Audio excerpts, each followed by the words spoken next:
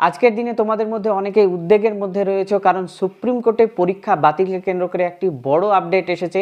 তার সঙ্গে নবান্ন থেকে একটি বড় আপডেট এসেছে পরীক্ষা সংক্রান্ত, অর্থাৎ মাধ্যমিক, উচ্চ মাধ্যমিক, একাদশ শ্রেণির পরীক্ষা নিয়ে বড় আপডেট রয়েছে।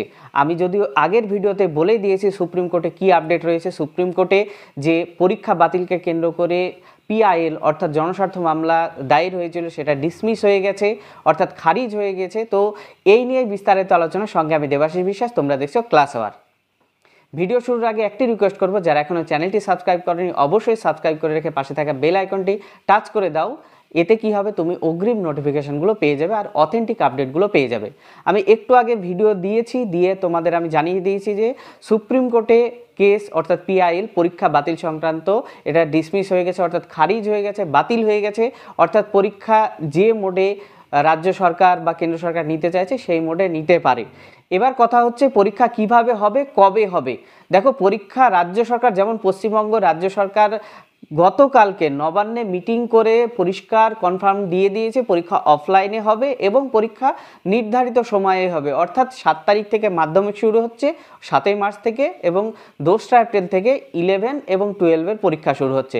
ইলেভেন টুয়েলভের পরীক্ষা হোম সেন্টারে অর্থাৎ নিজের স্কুলেই হবে এবং মাধ্যমিকের পরীক্ষা হবে আলাদা সেন্টারে, অর্থাৎ স্কুলের বাইরে যে কোনো সেন্টার, যে সেন্টার দিবে সেই সেন্টারে পরীক্ষা দিয়ে আসতে হবে।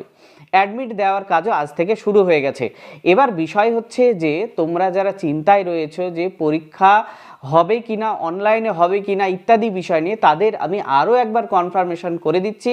সুপ্রিম কোর্ট থেকে কেসটা ডিসমিস হয়ে গেছে। অর্থাৎ সুপ্রিম কোর্ট এই পরীক্ষা বাতিল নিয়ে যে মামলাটা হয়েছিল, সেই মামলা ছাত্রদের তরফ থেকে করা হয়েছিল, সেটাকে খারিজ করে দেওয়া হলো। অর্থাৎ পরীক্ষা এবার রাজ্য সরকার বা কেন্দ্র সরকার নিজের মতো, ইচ্ছা মতো নিতে পারে। ইচ্ছা মতো নিতে পারে বলতে গেলে যে যেরকম মোডে নেবে। প্রায় প্রত্যেকটা রাজ্য সরকার এবং কেন্দ্র সরকার এবার অফলাইনে পরীক্ষা নিচ্ছে। তাই এবার অফলাইন পরীক্ষার জন্য প্রস্তুত নাও। হ্যাঁ এতে হয়তো কারোর খারাপ লাগতে পারে। অনেকে তোমরা আবেদন করেছিলে যে পরীক্ষাটা যেন কিছুদিন পিছানো হোক। পিছানো হোক বলতে গেলে কিছুদিন সময় দেওয়া হোক। দেখো, সেই সময়টাও কিন্তু সুপ্রিম কোর্ট থেকে বা নবান্ন থেকে দেওয়া হয়নি। এতে অবশ্যই আমিও চাইছিলাম যে কিছুদিন যদি সময়টা দিত, তাহলে অনেকের হয়তো ভালো হতো। কিন্তু যদি না দেয়, তাহলে তো আর কিছু করার নেই। আর মাধ্যমিকে তো বেশি দিন সময় নেই, আর কয়েকটা দিন সময় আছে। তো আমি অ্যাজ এ টিচার বলো, দাদা বলো, যাই বলো না কেন, আমি তোমাদের একটাই সাজেস্ট করব, এই কটা দিন তোমাদের যদি ভালোভাবে পড়াশোনা করো, অবশ্যই ভালো রেজাল্ট হবে। এটা আমি সাজেস্ট করতে পারি। আর এই জন্য তোমাদের জন্য, অবশ্যই দেখতে পাচ্ছ, তোমাদের জন্য সাজেশন তৈরি করতে আমি শুরু করে দিয়েছি, কয়েকটা দিয়েছি। আবার পর পর আমি দিতে থাকব যাতে তোমাদের কোনো রকম সমস্যা না হয় এবং এই কটা দিনে যেন প্রস্তুতি নিয়ে তোমরা ভালোভাবে পরীক্ষা দিতে পারো, সেই ব্যবস্থাও আমি আপ্রাণ করার চেষ্টা করছি। তোমরা সঙ্গে থাকো, চ্যানেলটিকে সাবস্ক্রাইব করে রাখো, ভিডিওটা শেয়ার করো। ভিডিওর শেষে আরও একবার বলব, আজকে সুপ্রিম কোর্টে পরীক্ষা বাতিল সংক্রান্ত মামলাটি খারিজ হয়ে গেছে।